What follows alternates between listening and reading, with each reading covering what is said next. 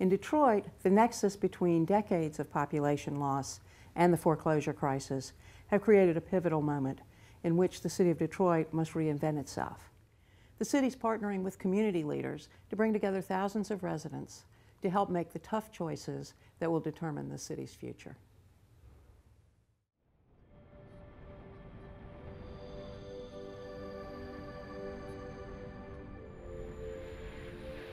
When the foreclosure crisis hit Detroit, people were being evicted from their homes. Our vacancy rate was skyrocketing, and we really did not have a mechanism to deal with the population that was leaving the city of Detroit.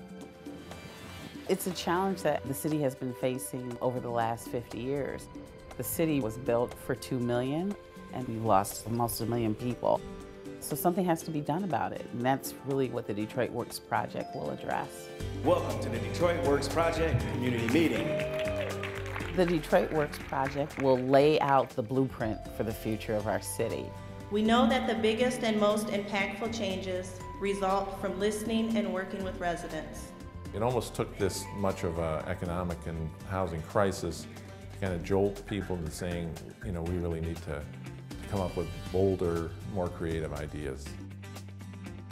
We kicked off in September of 2010 with community forums, had feedback from almost 5,000 residents. What is the most damaging impact of population loss in your neighborhood? What is your neighborhood's most important asset?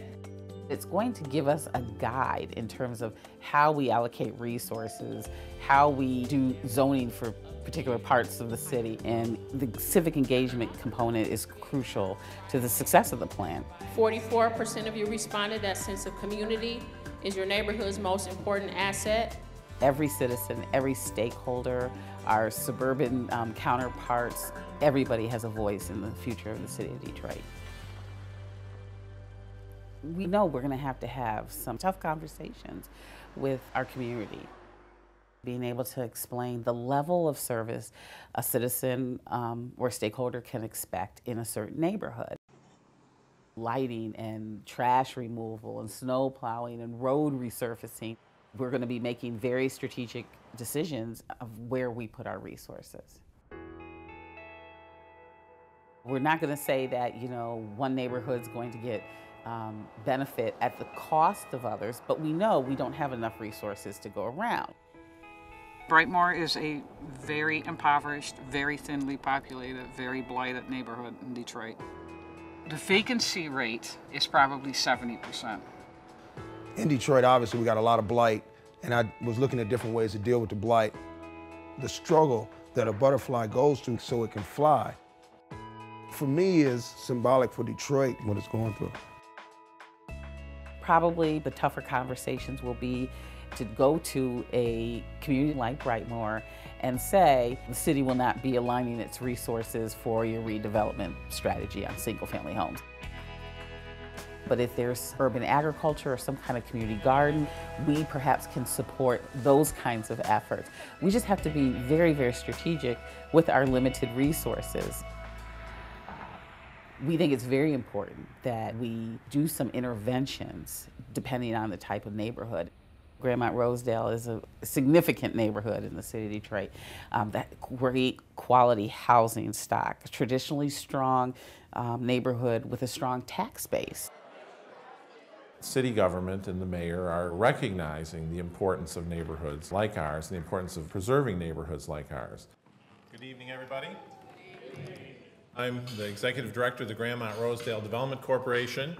Obviously, we all know that over the last couple of years, we've seen a dramatic increase in the number of foreclosed properties and the number of uh, vacant houses. Now, GRDC has been purchasing and renovating houses for over 20 years, but we've never had to face the scale of the problem that we're facing today. People are really concerned about the number of vacant houses in our community right now. We went from having just a couple houses in the whole neighborhood that might be what you'd consider troubled houses to vacant houses on every block. So what's the story on this house now? Well, we bought this house uh, a couple months ago. It's vacant property, was uh, mortgage foreclosed. Okay. The key part of this is making sure that we're aligned with our philanthropic communities because when we start to put our dollars behind each other, then it has such a greater impact.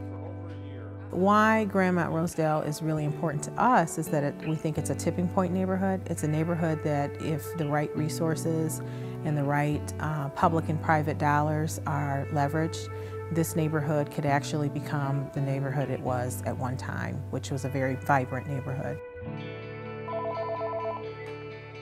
Hello? It's really volunteers and the community people who drive what we do.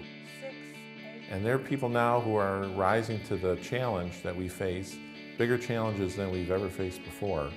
Detroit is not just what you see in the news. There are real communities here where people have strong ties and they work together. Detroiters are very passionate.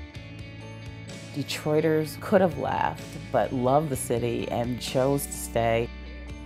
It's a community that understands that status quo is no longer acceptable. And perhaps no other American city has had to transform on so many levels. But what has been heartening about Detroit in this moment is that I think everyone has had a wake up call. We cannot continue to allow the population to decrease.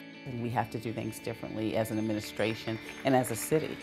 This is Detroit's defining moment.